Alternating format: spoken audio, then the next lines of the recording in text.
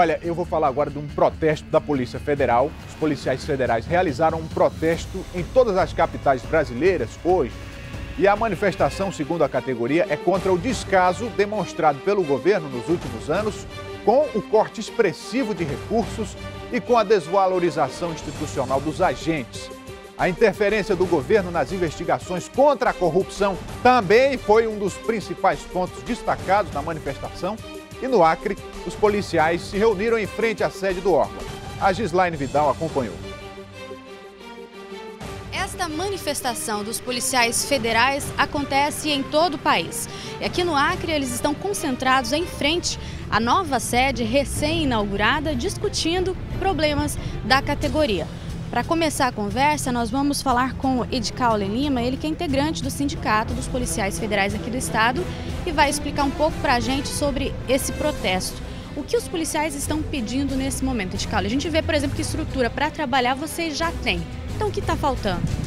Gislaine, na verdade, a, reivindicação e o protesto de hoje é um protesto nacional da Federação Nacional dos Policiais Federais é, está ligado principalmente às nossas reivindicações durante o ano de 2013 já há algum tempo.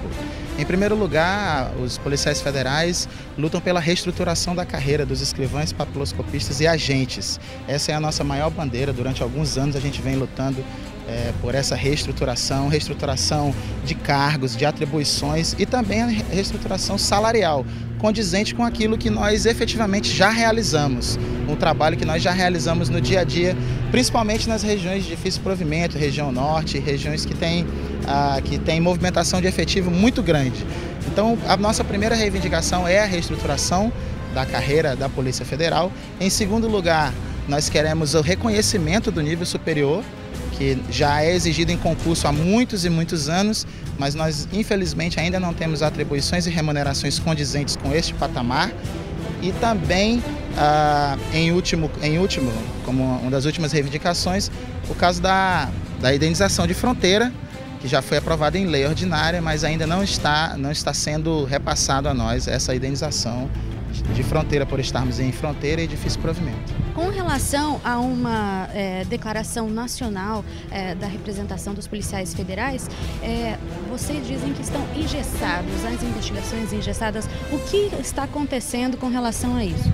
Na verdade, as estatísticas nos mostram que nos últimos anos vem havendo realmente uma diminuição ah, no número de. Na, na, eficiência da Polícia Federal. Aquela Polícia Federal vibrante que a gente conhecia há alguns anos, infelizmente ela vem decaindo. Isso não, não somos nós que falamos, são os próprios números que, que, que demonstram isso. O próprio ministro da Justiça tem tem levantado questões relacionadas a isso. A gente tem aqui, vou pedir para o Edcaule mostrar para a gente, explicar para a gente, a gente tem aqui um elefante branco que faz parte dessa bandeira do movimento aqui e fala inquérito policial. Explica para a gente o que vocês querem dizer com isso. O elefante branco é uma alegoria de uma estrutura grande e de algo ineficiente, algo, é aquilo que a gente nunca viu, né? O elefante branco é algo que nós nunca vimos.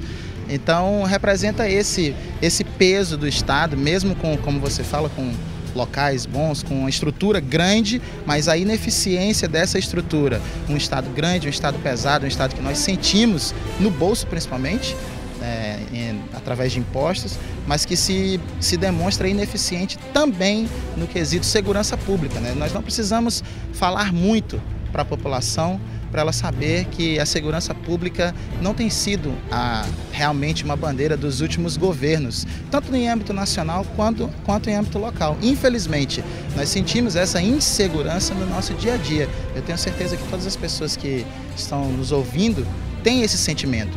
E a Polícia Federal é um fator muito importante, é uma variável muito importante dentro da, do cenário da segurança pública. E a quem é aquela pergunta que nós sempre fazemos: a quem interessa uma Polícia Federal da forma como ela está hoje, ineficiente? A quem interessa? Certamente ao crime organizado e aos corruptores interessa, a população não interessa. Essa é uma das nossas bandeiras. E essa mensagem que os policiais federais estão é, divulgando em todo o país nesse movimento nacional é de que realmente muitos casos de corrupção eles chegam a público, mas muitos têm influência política e isso precisa acabar para desengessar o trabalho da Polícia Federal. Gislaine Vidal para o Gazeta Alerta.